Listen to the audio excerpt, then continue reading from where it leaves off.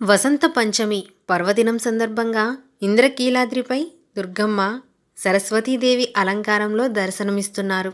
సరస్వతీదేవి దర్శనం కోసం ఇంద్రకీలాద్రికి భక్తులు భారీగా తరలివస్తున్నారు. ముఖ్యంగా విద్యార్థులు పెద్ద ఎత్తున అమ్మవారి దర్శనం కోసం వస్తున్నారు. వసంత పంచమి సరస్వతీదేవి అమ్మవారి జన్మదినం సందర్భంగా విద్యార్థిని విద్యార్థులు అమ్మవారిని దర్శించుకుంటున్నారు.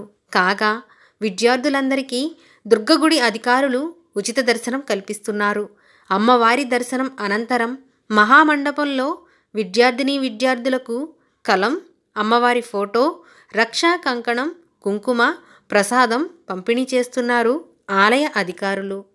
వసంత పంచమిని శ్రీ పంచమి అని మదన పంచమి అని కూడా అంటారు. సరస్వతీదేవిని మాఘ పంచమి నాడు శ్రీ పంచమి పేరిట ఆరాధిస్తారు. సర్వ విద్యలకు ఆధారం వాగ్దేవే. కనుక చిన్న పెద్ద తేడాలు లేకుండా పుస్తకాలు కళాలు అమ్మవారి దగ్గర పెట్టి ఈ రోజున ఆరాధిస్తారు. సంగీత నృత్య సాహిత్యాలకు కూడా ఈ దేవియే మూలం. కనుక ఈ తల్లిని నృత్యకేళి విలాసాలతో స్తుతిస్తారు. ఈ తల్లిని జ్ఞాన ప్రాప్తి కోసం ఆరాధించమని బ్రహ్మ వైవర్త పురాణం చెప్తుంది. అమ్మ దగ్గర అక్షరాభ్యాసం చేయిస్తే పిల్లలు జ్ఞానరాశులు అవుతారు. సరస్వతి ఆరాధన వల్ల వాక్శుద్ధి కలుగుతుంది. అమ్మ కరుణతో సద్బుద్ధిని పొందుతారు. అహింసకు అధినాయిక సరస్వతీదేవి. సరా అంటే కాంతి. కాంతినిచ్చేది కనుక సరస్వతి అయింది. అజ్ఞాన తిమిరాంధకారాన్ని దూరం చేసి విజ్ఞాన కాంతికిరణ పుంజాన్ని వెదజల్లే దేవత సరస్వతి. ఈ అహింసామూర్తి తెల్లని పద్మములో ఆసీనురాలై వీణ పుస్తకం జపమాల అభయముద్రలను ధరించి ఉంటుంది. అహింసామూర్తి కనుకనే ఈ తల్లి చేతిలో ఎటువంటి ఆయుధాలు ఉండవు. జ్ఞానకాంతిని పొందిన వారికి ఆయుధాల అవసరం ఏమీ ఉండదు కదా? ఈ తల్లిని తెల్లని పువ్వులతోనూ శ్వేత వస్త్రాలతోనూ శ్రీగంధముతోనూ అలంకరిస్తారు. పచ్చని వస్త్రాలను లేక తెల్లని వస్త్రాలను ధరించి తెల్లని పూలతో అర్చనాదులు చేసి క్షీరాన్నాన్ని నేతితో కూడిన వంటలను నారికేళము అరటి పండ్లను చెరకను నివేదన చేస్తారు. ఆ తల్లి చల్లని చూపులలో అపార విజ్ఞాన రాశిని పొందవచ్చు.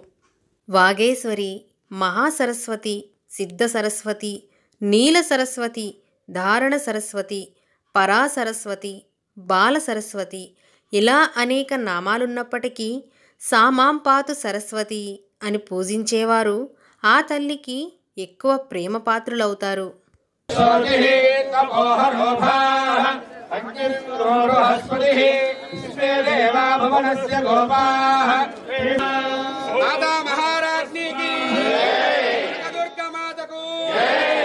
శ్రీ పంచమి ఆ, విజయవాడ శ్రీ దుర్గా మల్లేశ్వర స్వామి దేవస్థానంలో శ్రీ పంచమి సందర్భంగా ఇక్కడ సరస్వతి యాగాన్ని నిర్వహించడం జరుగుతున్నది.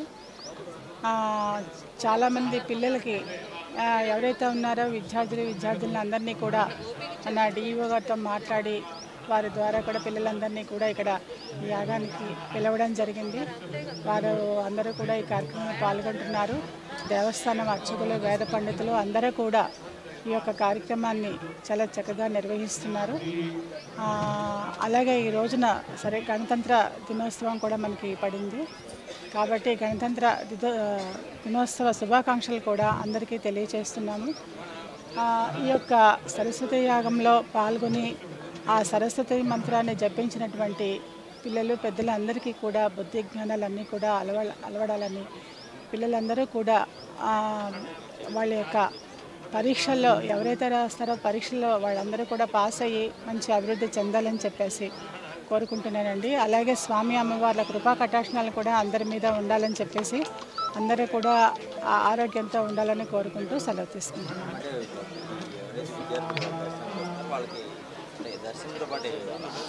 పిల్లలకి ఎవరైతే వస్తారో వారికి అందరికీ కూడా అండి. సరస్వతీ దేవి వద్ద ఉం- పాదాల వద్ద ఉంచినటువంటి పెన్నులను అలాగే అక్షింతలు కంకణం మరియు ప్రసాదం ఇవన్నీ కూడా వాళ్ళకి ఇవ్వడం జరుగుతుందండి.